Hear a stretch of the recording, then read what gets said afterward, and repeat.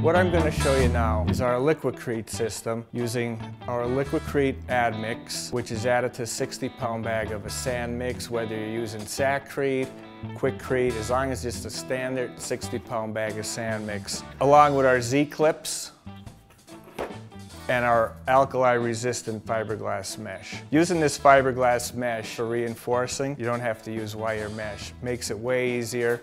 Could be just cut with a pair of household shears. The problem with the fiberglass mesh is holding it at the right level in the concrete. Typically when you pour concrete, it's either you're pushing it down, it's sticking up, it's just never in the right place. And if it's not in the right place in the concrete, it's not gonna do its job. So what we came up with, our patented Z-clip, it's a two-part clip that can be used either for our standard forms or for our three and a half inch commercial form. To use it for our standard forms, simply snap off the longer legs. You're gonna clip it onto the mesh and you'll see it will lock in place. You'll then screw it down to the Durarock with a number 10 by 5 8 inch screw. The fiberglass mesh is really easy to install. Pretty much roll it out, get it to length. Cut it off with a pair of, you could use actually household scissors in here to cut it. You'll see the Z-clips actually will clip into the mesh and they'll stay on there. The first row of clips is going to be screwed down on top of the Z-form. It's very helpful to have a magnetic screwdriver. So you could just put your screw in.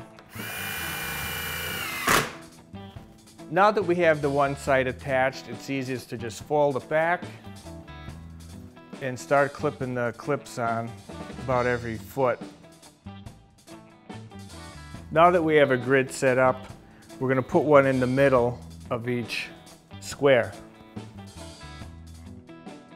Once you have all your Z-clips attached, just lay it down and simply start putting your screws in. The Z-clips are now in place, the mesh is in place, you can see everything is nice and tight. When these Z-clips were designed, they were designed to keep the mesh at the optimal height for our forming system.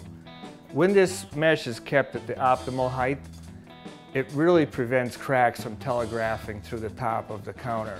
It's a glass mesh, it's alkali resistant, it's basically the perfect material for countertops. Our clips and mesh were specifically designed to be used with our fiber reinforced Liqui-Crete system. Liqui-Crete in conjunction with a 60 pound bag of sand mix makes a highly flowable mix which will flow right through this mesh creating a very, very strong crack resistant top.